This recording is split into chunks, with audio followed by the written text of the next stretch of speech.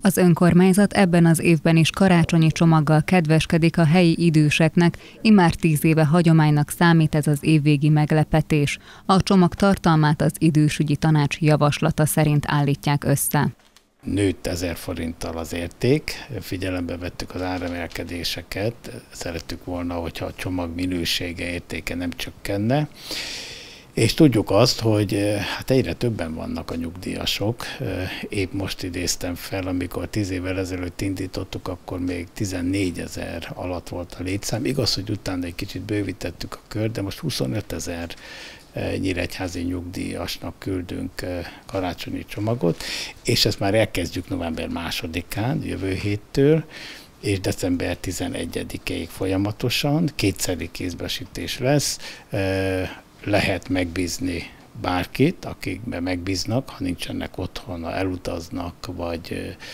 vagy kórházban vannak, vagy bárhol. Szeretnénk, ha mindenki megkapná karácsony előtt, különösen amiatt is, hogy most ugye igazgatási szünet lesz, az elmúlt évhez hasonlóan, ezért kezdjük hamarabb, ezért is kezdjük hamarabb a kézbesítést.